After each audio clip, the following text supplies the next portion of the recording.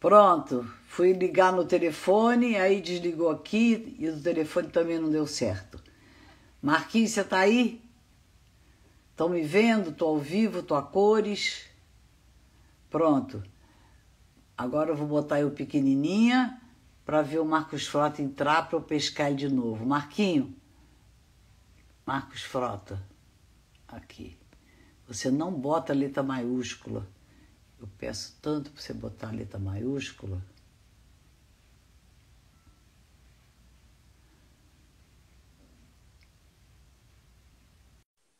Aguardando Marcos Frota. Pronto. É, mas o Boa. meu. Oi. Deu uma situação aí, mas está tudo certo. Eu chamava ah. o Nuno Léo Maia. O Nuno Léo Maia, eu sou um ator de São Paulo que veio com o Silvio de Abreu para fazer Vereda Tropical, né?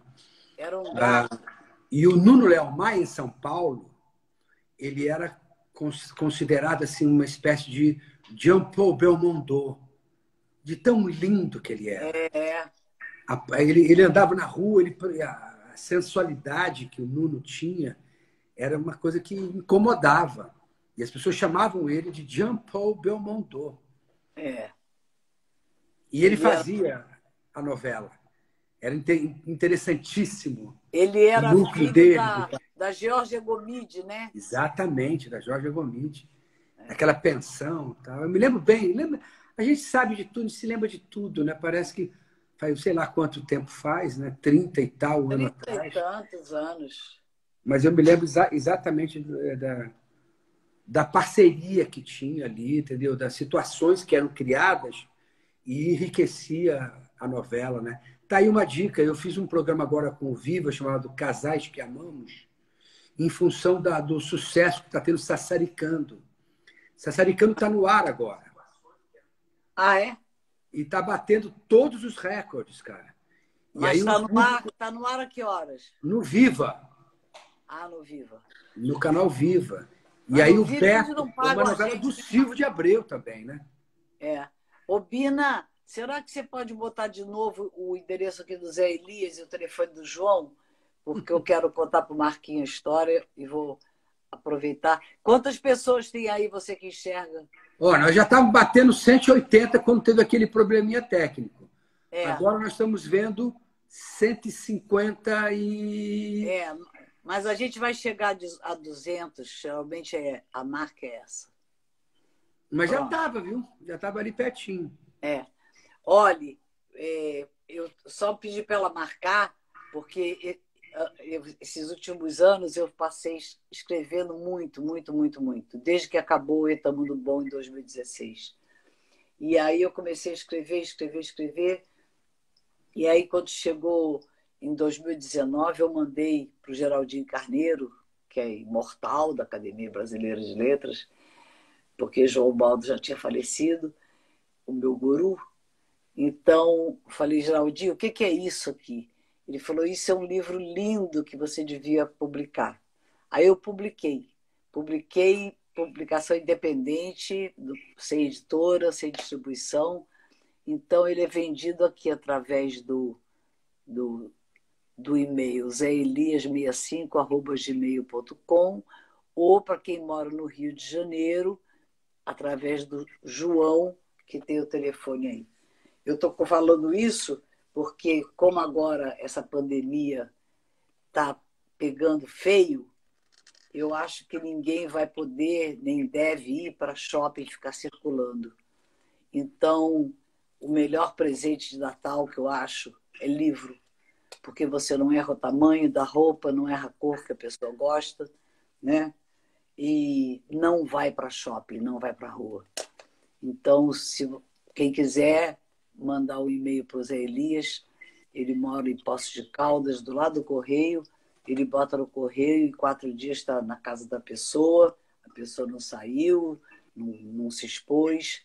E aqui no Rio, João também entrega aqui do Jardim Botânico, a pessoa marca com ele pronto. É um livro muito divertido, Marquinho, porque. Ah, eu quero ler, sim. Essas histórias que a gente conta aqui, eu conto no livro, sabe? Eu, não é uma autobiografia, é um livro de historinhas. Ah, eu gostaria muito de ver. É. História, eu li duas assim... autobiografias agora, assim, de enfiada. Adorei as duas. A primeira foi da Cláudia Raia, que é incrível a história da Cláudia, divertidíssima. E li do Nelson Mota. Eu é... recomendo as duas, viu? Tanto da é. Cláudia Raia quanto do Nelson. Do Nelson é um, é um, né, um achado, assim, porque ele passa informações é. incríveis. Não, o Nelson sobre um tem Rio uma... de Janeiro maravilhoso. O Nelson tem uma, né? uma vivência, né, Maio? Nelson é incrível. Eu fiquei, eu liguei para ele até, liguei para a Cláudia também, mas eu então o próximo eu quero ler o teu. Eu vou eu vou, vou entrar aí no acesso e vou tentar comprar para chegar aqui em casa, ver se aproveito. A gente está com tempo agora, né, de poder ler, né? É. Tenho lido muito, muito, muito, muito. Li a biografia toda do Yogananda, Paramahansa Yogananda, coisa mais linda do mundo. Ah, eu já li, ó. Sábio. Que, que... Eu sempre lia coisas dele e tal. Agora peguei aquele livrão mesmo para valer é. e li rápido à tarde, assim. Que, que, que cabeça, que espiritualidade, que, que leveza espiritual. Estou lendo agora de São Paulo Apóstolo, sob o ponto de vista humano, não sob o ponto de vista religioso ou, ou católico, não, sob o ponto de vista humano. Que cara incrível que era Paulo, que começou como Saulo. Né?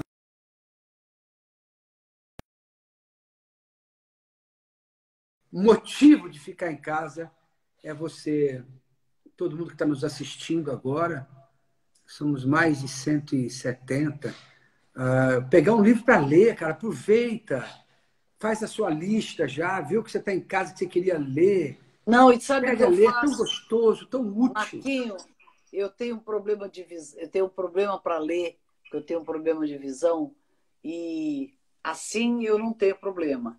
Mas para ler livro fica muito difícil porque as letras pequenininhas e juntinhas se embaralham. Então eu fico muito, eu tenho que ir voltar, ir voltar, ir voltar, aí vou ficando mal-humorada. Mas o que eu tenho visto de filme e séries. O que você viu, hein? Qual a última série que você viu? Está é, incrível, né? A última série que eu vi foi maravilhosa. Foram, só tinham duas temporadas. Eu achei que eram três, mas aí uma amiga minha disse: não, eram só duas. É, Chama-se. Uh, uh, não sei o que, River. É, não sei o que, River. Vou lembrar já já. E duas temporadas de dez capítulos. Lulu, que você está aí? Como é o nome do, daquele, daquela série? Aqui a gente faz é meio a família, sabe? Porque a gente faz, eu faço essa live desde maio. Bens a Deus. Todo santo dia. Bens a Deus. Então, eu entrevistei mais de 130 atores. Bens a Deus. Cada um mais então, louco do que o outro, né? É. Então, tanto que eu estou agora é, concorrendo a um prêmio, eu, Fábio Porchat, é, é, Otaviano Costa e mais uma moça, os quatro mais é, relevantes da, da web aqui no Brasil. Que, que bacana. E um deles vai ganhar um prêmio.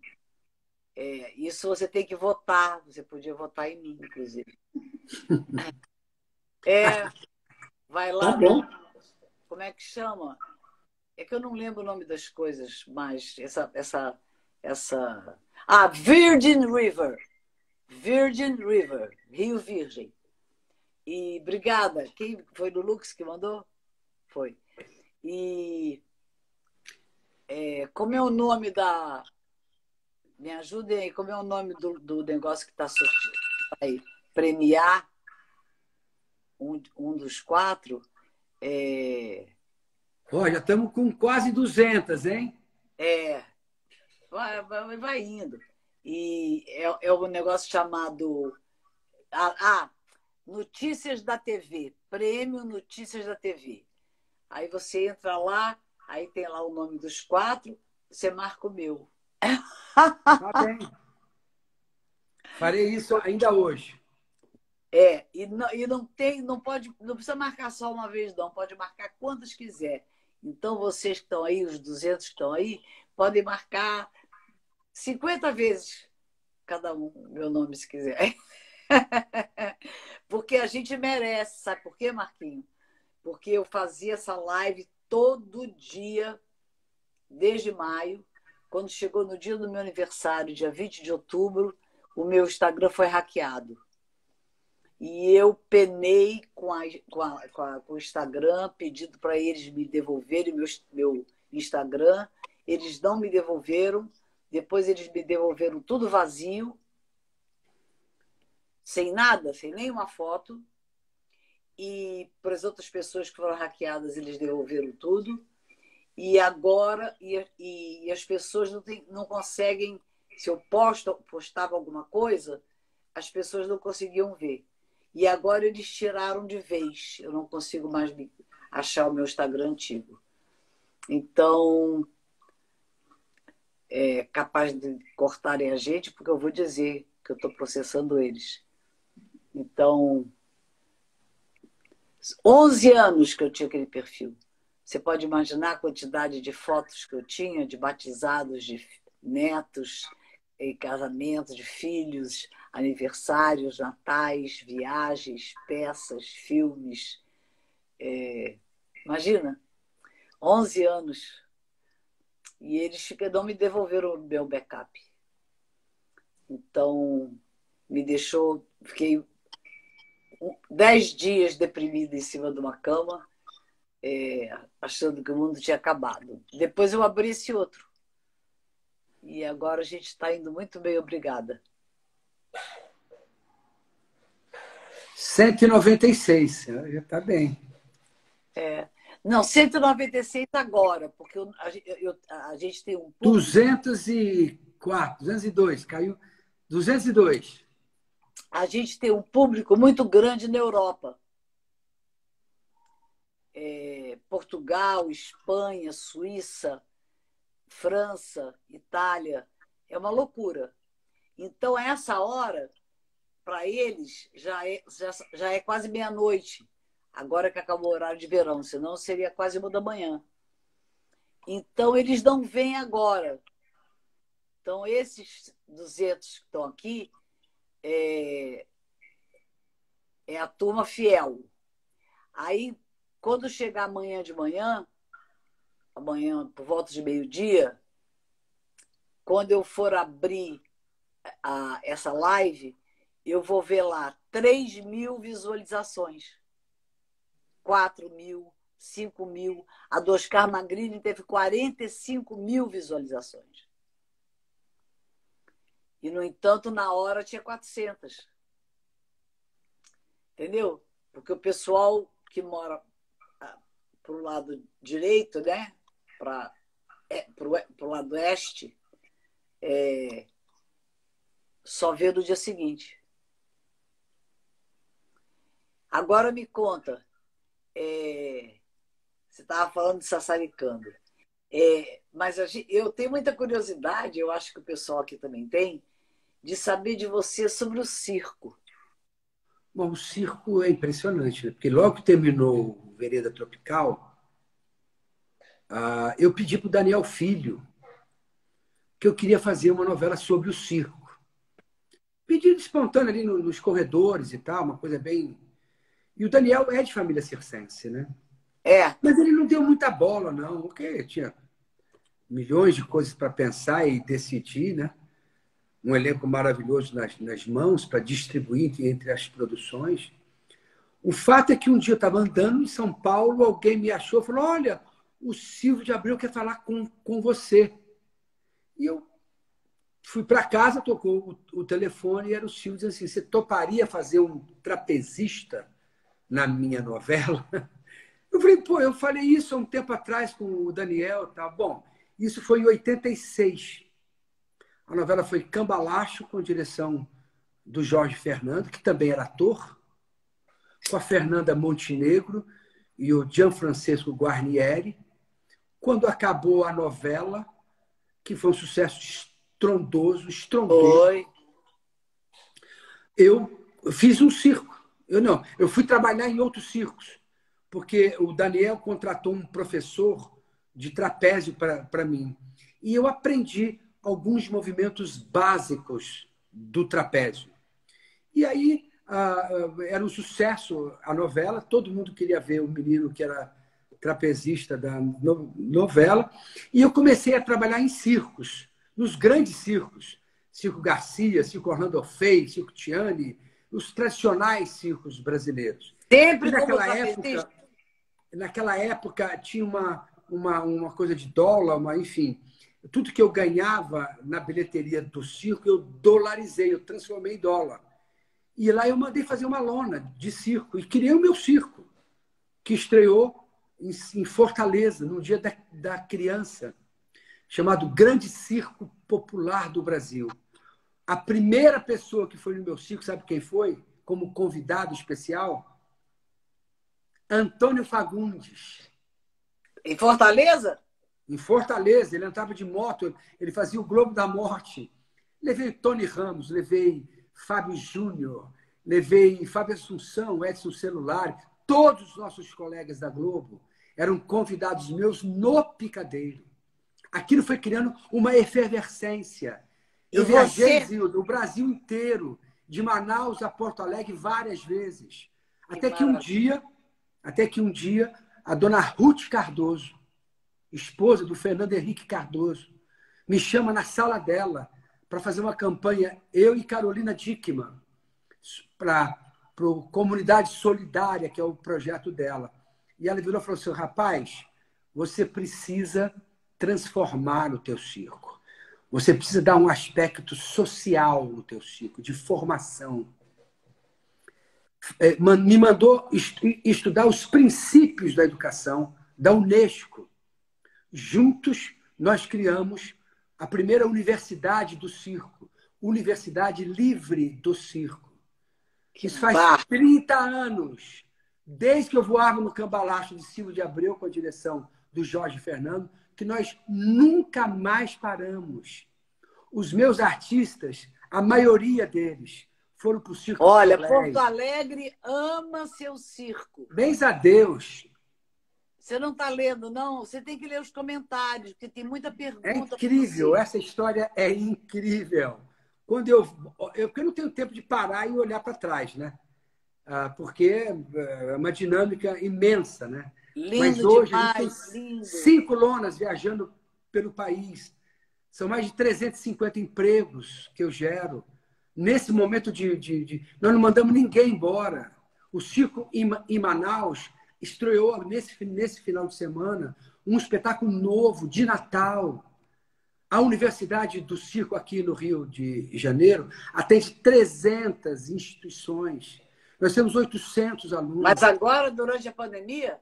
Não, agora a gente, agora só a área pedagógica online. Nós, nós temos 800 alunos, três núcleos dentro do Rio de Janeiro, Duque de Caxias, Alemão, Santa Cruz e Quinta da Boa Vista. É incrível. É Agora, muito maior do que eu. Eu nunca imaginei que a brincadeira que eu ia fazer com o Silvio de Abreu e com o Jorginho. O Jorge Fernando Zilda dirigiu vários espetáculos na Universidade do Circo. Vários, vários, vários. Inclusive, nós fomos um dos espetáculos de abertura das Olimpíadas do Rio de Janeiro. Nós abrimos o Pan-Americano e abrimos as Olimpíadas no Rio de Janeiro. Vários do, dos meus artistas participaram do espetáculo no Maracanã. Tanto, os, o, tanto o, o, a, a, as Olimpíadas como as, a Paraolimpíada. Nós temos uma companhia de artistas, Hilda, só com pessoas deficientes. O espetáculo chama Somos Todos Brasileiros. São surdos, cegos, cadeirantes, tetraplégicos, síndrome de Down, amputados, tudo dentro do picadeiro, fazendo circo. um menino meu, um menino meu, agora antes da pandemia, do 2019 inteiro, Rafael, ele foi contratado, cadeirante, ele foi contratado pelo Big Apple Circus por uma temporada no Lincoln Center em Nova York. Eu fui na, na, na, estreia, quando vi aquele menino que eu tirei de uma, de uma favela de Brasília, uma, uma favela, maneira de dizer, uma comunidade né? É, em, Brasília, chamada São Sebastião, quando vi os cartazes em Nova York da estreia do Big Apple Circus, em pleno Lincoln Center, com ele de protagonista, ou um dos protagonistas, eu falei, como a gente é pequeno. Como é. a gente é pequeno diante da mágica do mundo, diante da é. força que o universo tem. Eu amei o circo, amo o circo e vou amar o circo para sempre, porque ele deu a mim, Zilda, um propósito de vida. Eu abri mão de qualquer tipo de vaidade, sabe? Eu abri mão de qualquer tipo de defesa. Eu abri mão eh, da minha própria personalidade de er, er, para servir ao meu país, a um segmento artístico. Eu revolucionei, eu transmutei a história do circo no meu país. Eu fiz sozinho? Isso é claro que não. Fiz com centenas e centenas e centenas de, de pessoas que vieram juntos e que se dedicaram, que se reinventaram no picadeiro. Não existe, Zilda, nenhuma capital do Brasil e nenhuma das grandes cidades brasileiras onde eu já não estive com o meu circo, pessoalmente, voando no trapézio ou não. Agora eu quero saber uma coisa. Para poder, então. Pergunta. Oi. É, o pessoal aqui adora saber de fofocas de coxia. Pode falar. Você, você já caiu alguma vez? Várias vezes. Ah, é? Mas ah, então muitas vezes. Conta pra gente. Eu nunca ensaiei nada, né? Eu fazia novela, uma em cima da outra, e aí o Jorge Fernando, ou o Guel, ou o Cécio Thierrier, que faleceu, ou tantos outros diretores, Ricardo Ódio, tantos outros diretores que eu tive, Wolf Maia, etc e tal, eles simplesmente me liberavam para me pegar um avião e correndo para Manaus, para Belém, São Luís, Porto Alegre, Curitiba, Uberaba, Uberlândia, Guaxupé, então cidade. Chegava lá na hora, eu subia lá e caía, né? E o público adorava. Porque eu subia de novo. E fazia de novo. de novo. Claro. E o público ali comigo, ó. Junto. É, que delícia. É linda essa história. É linda. É uma história real. Né? Meu Mas é, vem cá, o trapézio, mais, né? o trapézio é aquele que você vai para um lado, para o outro, depois você encontra uma pessoa e troca a mão. E... Você entende de circo, hein, Zilda? Parabéns. Eu, eu, era louca por circo. Pois é. Todo mundo era. Eu, uma vez eu Não levei... é que você, você fica. Você, Exatamente. Você joelho, claro. aí fica com o corpo solto, aí você encontra a pessoa, dá a mão, pula para lá. É Exatamente. Assim? Sabe quem era trapezista? O Kirk, Kirk Douglas. E você, e você fazia par com quem no trapézio? Ah, eu tinha minha trope de, de trapezistas, né? Mas eram, eram profissas. Profissionais. Aqui para o Rio de Janeiro, com a direção do Jorge Fernando, eu trouxe Tito Gaona, que é considerado o maior trapezista do mundo de todos os Mas como é, como é que você caía? Você não conseguia pegar na mão do outro? Ah, é, precisa, você precisa de treinamento, você precisa ter um corpo adequado, você precisa ter concentração. E imagine eu chegar na novela O Outro, Silvio de Abreu e Jorge Fernando de novo, com Wilker, Lima Duarte e tantos. Né, saía correndo do estúdio, ia pegava um avião, ia para Belém do Pará, e chegava no último momento, estava todo mundo esperando eu, eu, eu chegar. E eu ia para cima do trapézio, sem aquecimento, sem nada, caía, caía na rede, que aliás era uma delícia. E o público junto comigo, torcendo. Uma festa, uma bênção, uma declaração de amor ao meu país e ao circo. É. E sem eu, vaidade, eu sempre, hein? Eu e sem ego. Sempre fui doida por circo. Doida. Uma, por uma vez, Hilda, eu levei Mas eu Tony queria Ramos. fazer, eu queria ir para o trapézio. Não, o trapézio era tudo. Ou então andar naquele fio. O arame. Você perde até o fôlego. A gente tem um número de, de arame de um colombiano mas eu uma ficava, vez eu levei... Eu ia, eu, eu ia para o circo com a minha mãe e eu ficava assim, sem ar, sabe? Com, com, medo do, do, do, do, Quando, quando o trapezista soltava e pegava na mão do outro, aquele espaço de tempo de pegar na mão do outro, meu coração saía pela boca. Você sabe que o público vai ao circo para ver o, o, trapezista cair, né, cara? Não. E quando ele acerta, não tem graça nenhuma. Cair, não. Eu passava mal de medo dele cair. É incrível o circo, né, Zilda? Depois de é. tanto tempo, não o meu, foi o circo de uma maneira geral. Depois de tanto tempo, hoje, em plena era de Olha, internet, tem aqui alguém de Portugal. Aqui, tem alguém aqui de Portugal, ó. As bandeirinhas de Portugal aqui. Bens a Deus. Ó.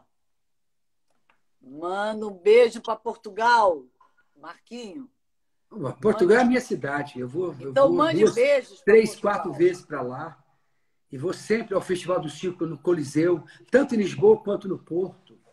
Já trabalhei em circo em Portugal. Já filmei circo lá. O grande circo místico do Carcá de Eggs.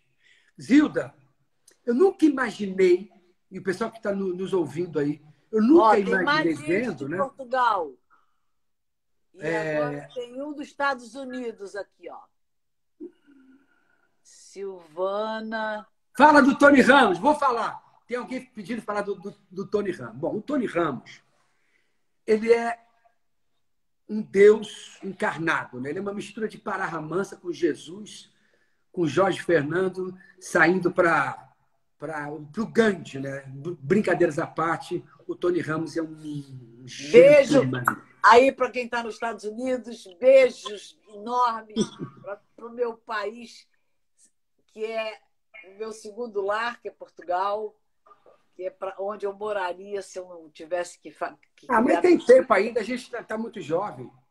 Tem muita coisa para a gente fazer ainda. Ah, tem eu tive esperança eu, e eu alegria, né? Assim que acabou e tá mundo bom, eu fui para Portugal. Bens a Deus. Vou... Mas aí o Tony Ramos foi no meu circo. Ah. Quando ele chegou, ele chegou de terno e gravata. Eu falei, Tony, é um circo tal. Ele foi se, se apresentar com uma poesia de Gabriel Garcia Lorca. No dia seguinte, ele já apareceu de, de, de, de roupa normal. E no domingo, que era o terceiro dia de apresentação dele, né? Ele Peraí que tem mais gente aqui de outro lugar que eu não sei. São Salvador? Essas bandeirinhas são de onde? Mas o Tony Ramos, cara, quando terminou a participação dele, ele chorava copiosamente no picadeiro, agradecendo ao público a oportunidade dele, um artista consagrado, pisar pela primeira vez num circo. A apresentação do Tony Ramos foi em Olinda, Pernambuco ali no centro de convenções, entre Olinda e Recife, aonde surgiu um dos maiores movimentos de cultura do, do Nordeste, que era Quinteto Armorial, e Marco Siqueira, Luiz Maurício Cavalheira, e, e, e Mangue lá, aquele Mangue Beach lá, aquele Mangue maluco é. lá, enfim. O Tony Ramos, ele, ele, ele virou porta-voz, virou embaixador do, do meu circo, onde ia, ele, ele, ele, ele, ele falava a honra que a gente teve de conviver com o Tony três dias no circo e ele contando as histórias dos personagens dele, da novela. Rapaz, a companhia de circo até hoje fala: Marcos, manda um beijo para o Tony Ramos. Tony Ramos deixou marcado a participação dele no picadeiro do nosso circo.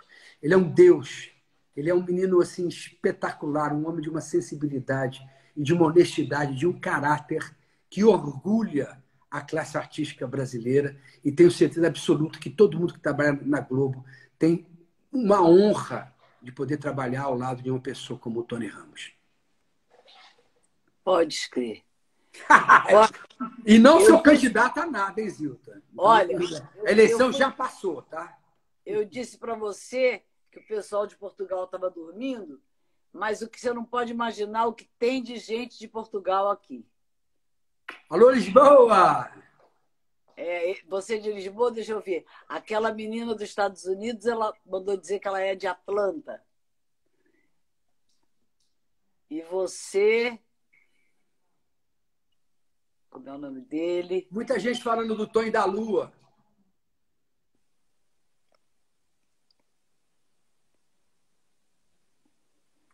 A novela Mulheres de Areia com Glória Pires fazendo Ruth e Raquel, é considerada o maior sucesso entre as reprises da Globo, de todos os tempos. Toda hora que a novela entra no ar, ela tem uma atemporalidade, né? É, ela é uma novela atemporal. Na época a gente estava gravando Mulheres de Areia, Zilda, não, não, não existia celular, Imagina, há pouco tempo atrás, não tinha celular. Depois que no final da novela que surgiu um celular, que era um tijolo e tal. E é impressionante como, como o público se liga ainda na história do Tonho da Lua com a Rutinha e com a Raquel. Tem crianças que brincam de Tonho da Lua. Eu, eu moro aqui na, na, no Recreio, moro aqui na Barra, eu vou na Prainha, ou aqui no Grumari, são praias muito desertas, muito limpas e tal. E às vezes as mães me chamam e falam, Marcos, vem ver o meu filho brincando de, de construir areias. Eu estou falando, a novela Mulheres de Areia foi ao ar a primeira vez em 1993. Nós estamos em 2020. Tem crianças que brincam na areia de Tonho da Lua. E sai brincando, e sai gaguejando, e sai e sai. É impressionante a, a força que as novelas tinham na, naquela época. Como ela, como ela marcava o ator. Marcavam, porque a audiência era muito grande, as novelas eram muito boas.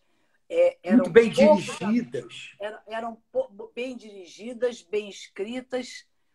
É, e... e com elencos apaixonados. Né? E com elencos é, e com elencos restritos. Eram, o, o elenco tinha, tinha, os elencos tinham 30, 40 atores no máximo. Então, os atores tinham chance de, de, de fazerem bem o seu personagem. Tinha história, né? né? Hoje em dia, os, as novelas têm 150 uh, personagens.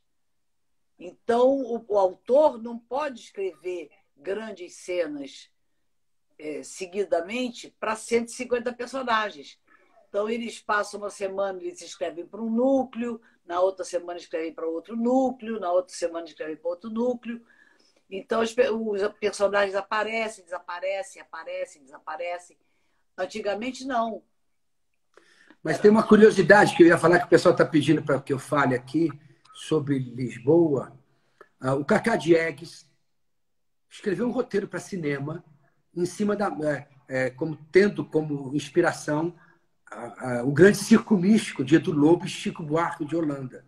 É. E esse filme foi feito em Lisboa, porque o Brasil, naquela época, não podia mais usar animais.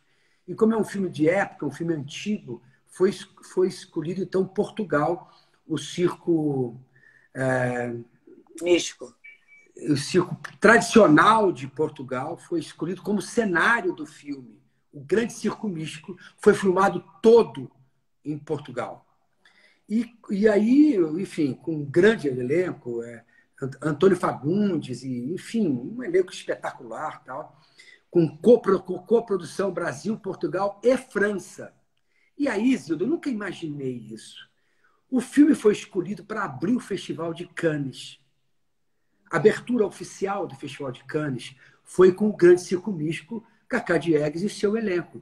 Quando eu pisei no tapete vermelho, comigo estava Kate Blanche, estava George Clooney e tantos outros atores de Hollywood ali, todo mundo re reunidos para então fazer a entrada né, triunfal ali naquele tapete vermelho, para todos nós, junto com o presidente do júri, com o presidente do festival, porque naquele ano o presidente do júri foi a Kate Blanche.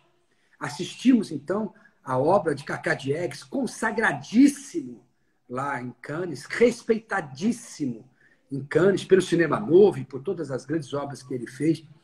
Eu olhei para alguns amigos que estavam lá comigo e tal, falei assim, nunca imaginei que o é. circo fosse me levar para o tapete vermelho em Cannes. É.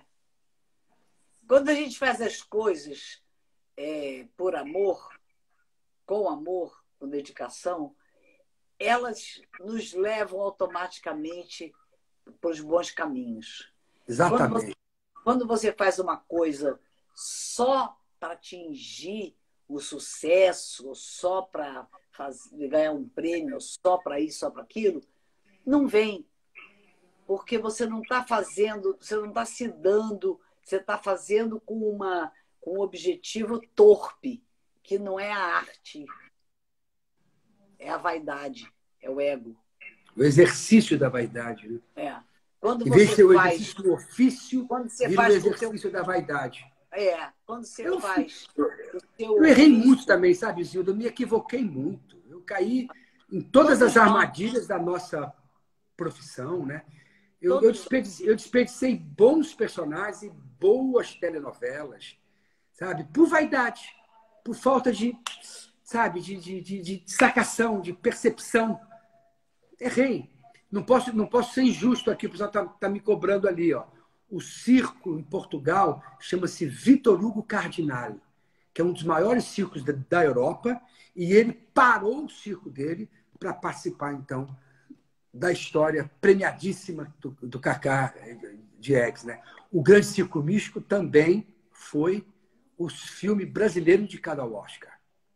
E, aliás, eu quero falar para todo mundo aí que ontem eu fui assistir o filme da Bárbara Paz, sobre a vida de Babenco, Hector Babenco. É o filme brasileiro indicado ao Oscar. É uma das coisas mais interessantes, mais deslumbrantes que eu vi. Você viu é, aonde? Eu vi no cinema, mas só tinha eu e um casal. Porque abriram excepcionalmente, porque eu falei que estava lá, que não saía de casa, que queria ver o filme. Então eu vi numa sessão que não era aberta ao público. E acabei vendo, olha, vai, olha, quem tiver oportunidade, marca aí, vai ver, depois abaixa. Não, não, não vou, não, não vou ao cinema, não. Fique em casa. Bom, vai, vai, vai com máscara. Mas olha, fica a minha indicação, tá?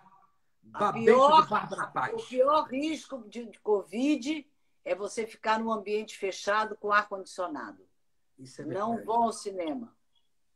Que pena, mas você tem razão. É, é verdade. É o, a, o avião, é o cinema, é o estúdio da TV Globo, está aí a prova, que eles fizeram todo o protocolo, fizeram tudo direitinho, como eles achavam que ia dar certo, botaram os atores dentro do estúdio, com ar-condicionado para gravar, com todo o protocolo, todo mundo fazendo teste. E estão aí mais de 20 atores com Covid. Eduardo Galvão está muito mal. É, Maria da Severo também está internada. Tem muita... O Galvão estava gravando novela? É, Lázaro Ramos. É. A Thaís também, a mulher dele. O Lázaro está gravando há muito tempo lá. Estava gravando, ele gravava sozinho, tanto que ele não fez live comigo, porque ele falou, Zildinha, eu tô eu faço tudo. Eu faço a, o ator, eu faço a câmera, eu faço a edição, eu faço tudo. Então, nós não saía de lá, trancado num estúdio com ar-condicionado. É, então, eu, eu não recomendo. Eu não recomendo, não. Eu está chegando agora... a vacina, né? Um pouquinho mais é... de, de, paciência, né? É, Hoje, São um... Paulo anunciou oficialmente que vai vacinar a partir do dia 25 de, de janeiro, né? É, mas você tem que vacinar 250 milhões de brasileiros. E a vacina ela tem uma, uma imunidade é, que não é eterna, como é da vacina da varíola, da rubéola, da cachumba, o BCG. Né? é, ela tem um prazo de validade é, de, da imunidade de três a quatro meses. Então, você tem que tomar vacina de três em três meses? Como é isso? É. Então, vamos, vamos nos cuidar, vamos cuidar de quem a gente ama, vamos ficar em casa, quietos, vamos ler, vamos ver filme, vamos exercitar esse, esse isolamento como um autoconhecimento, sabe? Como uma prova de que você tem se, como se reinventar, como encontrar coisas para fazer e nos manter vivos e saudáveis. Isso é que é importante. Depois Cuidar do lado vê... espiritual, porque o planeta também está é, tá recebendo um recado muito a espiritualidade. Depois a gente a vida, vai, a vida vai, vai continuar. Esse mundo ainda, esse planeta ainda vai, vai é. vai ter outras centenas e centenas e centenas é. de gerações que estão chegando, é que, que vai encontrar um planeta com muitos desafios, é. mas eu tenho convicção que o ser humano é capaz de se reinventar, de, de entender a sua relação com a, a natureza, de colocar a natureza como parceira e não ficar usufruindo da natureza. Vamos precisar parar de achar que domina a natureza. A, a, nós, nós compartilhamos o planeta com a natureza. Esse é o grande recado desse ano de 2020. Se o ser humano perceber isso e, aos poucos, entender natureza como parceira, como dizia São Francisco de Assis, a irmã natureza, com certeza esse mundo ainda vai dar muitas alegrias para os seus habitantes, através da arte, da cultura, com é. muitos caminhos através da, da ciência, com uma política mais justa, mais, mais temperada, com mais sabedoria. Eu acredito nisso, Zilda, sinceramente. Todos os dias eu me levanto muito cedo, eu levanto praticamente de madrugada Uh, faço questão de ver o dia nascer. E todos os dias eu, tenho, eu sinto mais forte do que tudo, mais forte do que o medo, mais forte do que a, a, a chatice do isolamento, mais forte do que as dificuldades financeiras, mais forte do que a falta de perspectiva. Eu sinto gratidão. Quando eu estou sozinho, antes de tudo, antes do dia nascer, eu olho para dentro de mim e o espaço melhor meu está reservado a esse sentimento de gratidão por tudo, por tudo, por tudo, por tudo, pelo que virá, pelo que virá. Agora, é claro, o momento agora é de atenção, de consciência, absoluta consciência e responsabilidade. Exatamente. Não colocar o dedo para lá, hein? Vou colocar aqui assim, ó, não colocar o dedo para cá. Não culpa ninguém, não, não, não transfira a responsabilidade para ninguém. Coloque sempre aqui. Olhe você primeiro sempre. O que você é, pode ser para ser dentro, melhor, o que você pode ser para contribuir para que essa vida seja melhor. Não coloque a culpa no governo, não coloque a culpa no vizinho, não coloque, não coloque, não coloque culpa. Estamos todos no mesmo barco. A responsabilidade é de todos nós. O presidente da República tem a sua responsabilidade, o governador, o motorista de táxi, a cozinheira, é, mas o já restaurante. Que, já que o presidente mas cada da República, um de nós tem a sua responsabilidade. Já que as autoridades, diante. já que as autoridades não tomam uma providência, como por exemplo em Portugal, que você não pode sair de casa a não ser com um motivo justo e tem horários para sair de 7 às 10 da manhã, se depois você não sai mais. E as multas são caras, as multas são de 400, 300, 400, 500 euros. Você sai de casa para dar uma voltinha de máscara no seu carro, se o guarda perguntar, você está indo para onde? você não tiver o um motivo justo, você paga 400, 500 euros. É verdade ou não, pessoal? País, um país europeu, né? É. Então, eles agora, quando vê essa. De 12 milhões, de 15 milhões de pessoas apenas. É. Né? É, mas na França, na Espanha, tá tudo assim. E nos Estados Unidos também. O aqui... que eu estou falando aqui, Zildo, sabe o que, que é? É claro que existem as regras, existem existe os protocolos, existe. Mas mais do que isso, existe uma tomada de consciência. É, mas agora, por se exemplo... O ser humano, se o ser humano entender o recado que o planeta está recebendo agora, o despertar da consciência para combater e vencer esse período que a gente está vivendo agora, ele vai uh, irrigar para outras questões do, do ser humano. A gente vai construir um planeta diferente a, a, a partir de uma tomada de consciência. Acredito muito nas novas gerações que já chegam com esse tipo de consciência. É claro que, em primeiro lugar, Está toda uma necessidade de saúde, ah, de saúde eh, para todo mundo. A gente está realmente muito assustado.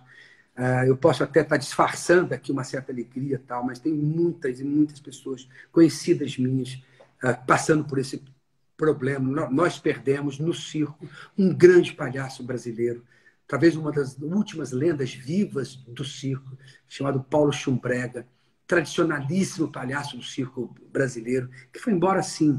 Então aqui não tem, não tem, não estou escamoteando verdade ele, nenhuma. Ele, ele, Só estou pedindo, junto com a atitude responsável, consciência. Porque um homem consciente é capaz de brilhar. Um homem consciente é capaz de entender o seu propósito de, de vida. E eu acho que é esse o grande recado que a humanidade está uh, uh, tendo a oportunidade, o presente. Porque todo mundo está achando que nós, nós estamos sendo castigados por esse momento. Eu vejo ao contrário. Eu vejo a humanidade recebendo um presente, que é o despertar de uma consciência, antes que seja tarde demais. Eu acho que já está tarde. Acho que a gente já marcou muita touca. Acho que nós devíamos ter é, nos cuidado mais, o, o, o governo, as autoridades deviam ter colocado é, multas altas para quem está na rua, porque só assim... Você não assim pode falar para uma criança que tem 5 anos de idade que está tarde demais. Não. Pode. Você não pode falar para um casal apaixonado de 17, 18 anos de idade, completamente apaixonados, acreditando no amor, entrando num período de universidade, com toda, descortinando toda a possibilidade do conhecimento. Você não vai falar que está tarde demais. Eu não pra, disse que está tarde. Muita gente está começando agora. Espera aí, você me entendeu errado, desculpa. Não, eu entendi. Está tarde demais eu, as providências tá para enfrentar essa é. questão toda que a gente está vivendo. Né? É. Eu tenho uma neta de 18 anos que estou para a faculdade. Então, jamais passaria pela minha cabeça dizer para um adolescente ou para uma criança que está tarde demais. Não está tarde demais para viver. Está tarde demais para recuperar, a não ser que a gente tomasse uma medida é, extremamente radical, agora, amanhã, de dar um lockdown até o Natal. Porque no Natal e no Réveillon, do jeito que está, aí vai, a vaca vai para o brejo. Em janeiro, a coisa estará. Eu, eu, eu, eu, concordo to, totalmente. Eu acho, que, acho que, que a propaganda oficial e todos os veículos de comunicação, como você está fazendo com a sua live da alegria agora, devia ser assim, contundente como você está sendo. Vamos tomar as medidas necessárias para que o nosso Natal e o nosso Se o governo não toma, tomamos nós. Vamos nos trancar em casa e vamos nos cuidar. Não tem ninguém para cuidar da gente, a gente se cuida. E cuida de quem ama. Porque no Natal as pessoas vão se encontrar. No Réveillon, as pessoas vão se encontrar, vão para a praia. Eu não sei se vai ter fogo, se não vai, sabe? A gente não sabe, a gente está num momento, Marquinho, em que a gente não pode fazer planos. Não. É uma coisa louca. A gente não sabe como vai ser semana que vem.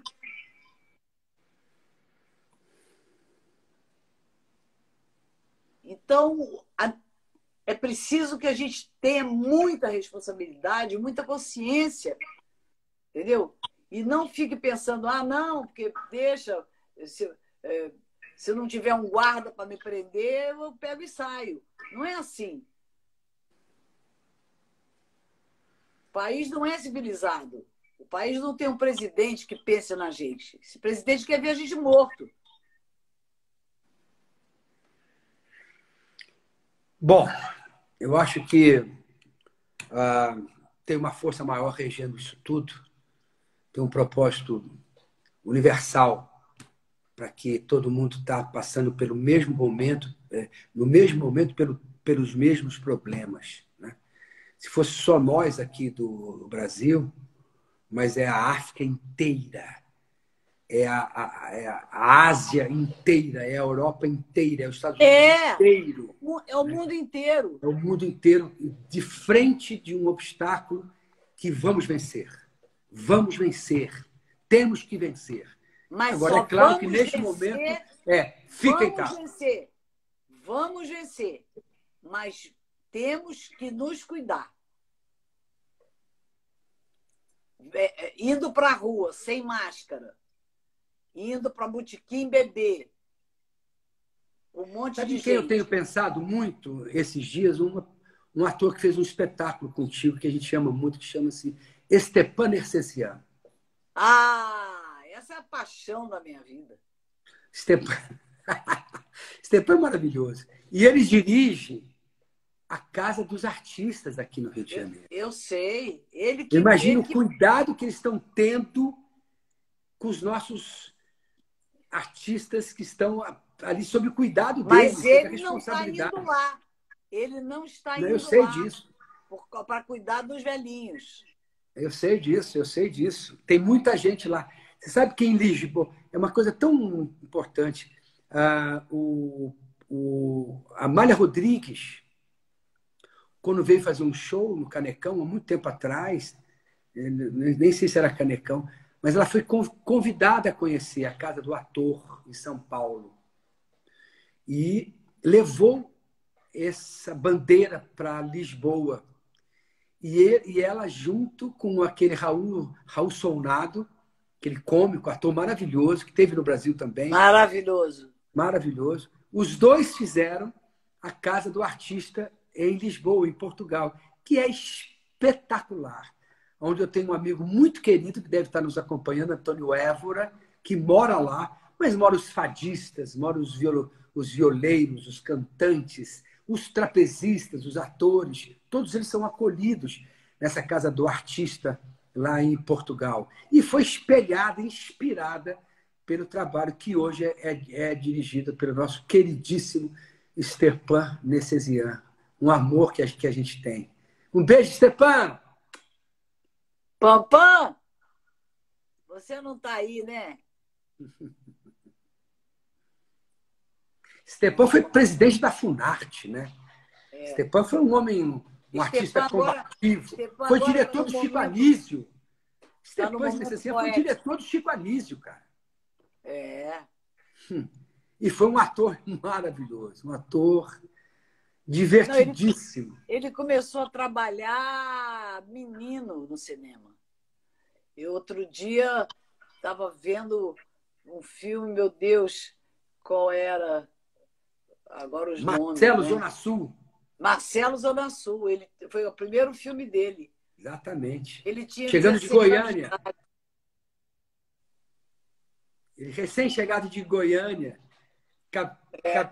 cabeludinho, lindo, né? Lindo. Lindo, lindo, lindo, lindo. Bens a Deus. Adoro Stepan. Eu também. Um, um homem, um homem necessário. E, e, adoro e conheço ele profundamente, porque nós viajamos é, o Brasil inteiro duas vezes e a gente é, conviveu com muita intimidade, muita parceria, muito respeito é, diante de dificuldades que você sabe que a gente atravessa quando faz uma turnê. Né? Todo tipo de dificuldade a gente passava por cima junto, um segurava a onda do outro. E ele é um grande parceiro, um grande amigo, um excelente ator, um companheiro. Foi vereador do Rio de Janeiro, deputado estadual e deputado federal pelo Rio de Janeiro. Ele é um, homem inquieto, né? um, um rapazinho que veio para lutar o bom combate, como fala São Paulo Apóstolo. Stepano é. luta o bom combate. Eu adoro é Stepano, eu tenho uma, uma admiração e um respeito muito grande. Os nossos colegas, na maioria deles, são, sabe, são gente assim. Pô, são gente que enche os olhos, sabe? Ser humanos espetaculares, gente que faz tudo para poder dar sua contribuição para que esse mundo seja um pouco melhor.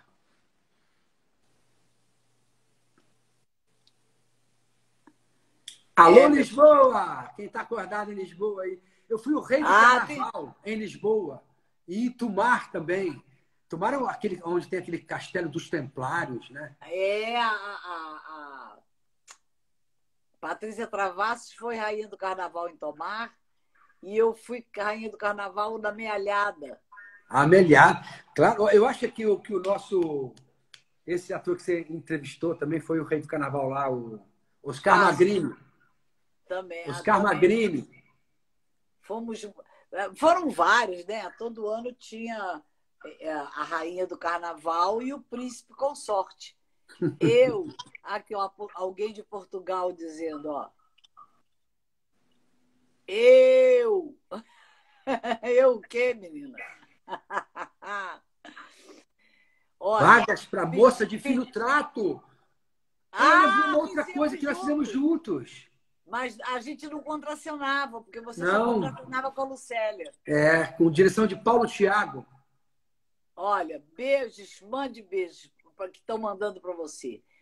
Quixadá, Minas Gerais.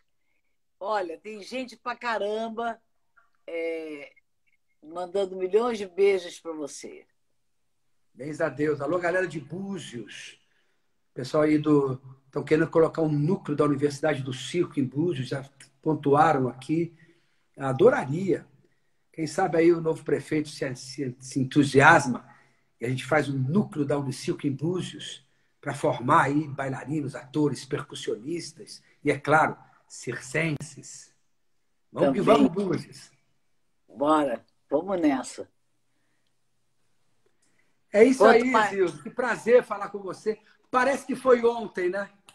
Parece. Parece Quando a gente ontem. encontra os amigos, parece que foi ontem. Galera de Paulo Afonso, na Bahia. Uma cidade é. espetacular. Tive com o meu circo lá. Olha, beijão aí. Valeu, Paulo Afonso. Alô, Floripa! Então dá para você ler tudo, né? Eu estou aqui tentando, né? Falando que Vereda vai para o Globoplay. Oi? Falando que Vereda vai para Globoplay. Ah, estão dizendo aqui que Vereda Tropical vai para Globo, Globo vai agora. Play. É. Vai, é, é, é Todos nós vamos poder ver Maria Zilda já... lindíssima, gostosíssima, sensualíssima, dando em cima de Mário Gomes. E vilã, é. né? E vilã. Vilã, mas, vilã. Mas eu sempre, eu sempre arrumo uma justificativa para minhas vilãs. E a minha, ó, Natal, mandando beijos. E a e a minha justificativa, Piauí. E a minha desculpa para todas as maldades da Verônica era o Verônica. amor. Verônica. Era o amor. Tudo que ela fazia, ela fazia por amor. Eu me lembro que tinha uma briga no camarim, briga no bom sentido, porque o Marco Aurélio, que era o nosso figurinista, lembra do Marco Aurélio? Imagina, paixão ele, da minha vida. Ele caprichava na Verônica. A Verônica, para ele, eu acho que era o alter ego dele, alguma coisa assim, porque ele, é. na Verônica, ele, ele separava Santo. os melhores figurinos. Me lembro tão bem daquilo. Era uma briga no camarim. Não, porque a minha, a, o meu figurino era uma coisa de enlouquecer as pessoas. E não era nada que comprasse em loja. Ele mandava fazer tudo dentro da TV. Globo, sabia? Ele não comprava uma peça de roupa em loja. Incrível, ele né? desenhava, inventava os modelos e mandava fazer. Incrível. É. Marquinho era uma pessoa realmente, é, assim como figurinista, nunca vi nada igual um, artesão, né? Ele construía cenas junto, né? É. Era uma época de ouro, uma época Não, e ele estava lá todo dia. Você chegava para gravar às sete horas da manhã, Marco Aurélio estava lá. E só pra saía preparar as suas mandava, atrizes, os seus atores, né? É, ele não mandava assistente é, e, e, e aparecia para ver se estava tudo bem, não. Ele ficava no camarim vestindo os atores. É, Quanto amor, quanto amor ao trabalho. É, ele tinha uma E tinha também um maquiador espetacular no, no, Jardim Botânico, né? O Eric. Ah, e o Eric fazia coisas incríveis, cara. É. Fazia coisas incríveis, incríveis, incríveis. É. Bons tempos. Não posso Aqui... deixar de falar de Jorge Fernando, né? Que é um amor que a gente tem em comum, né? É. Eu sempre falo com a Maria, sempre mando mensagem. A alegria do Jorge Fernando foi como um cometa que passou pelo planeta Terra. Né? Foi. Eu, acho Eu nunca vi uma pessoa com acho tanto que a, brilho. Acho que a energia e a, e a alegria dele não couberam dentro dele. É, ele era, ele era, ele era um anjo. Um anjo, absoluto. Marquinho, a gente vai ter que se despedir. Beijão, Zilda. Obrigado, Falando... viu? Não, não, agora não, daqui a dois minutos. É, mas eu quero agradecer a você. Fica em casa.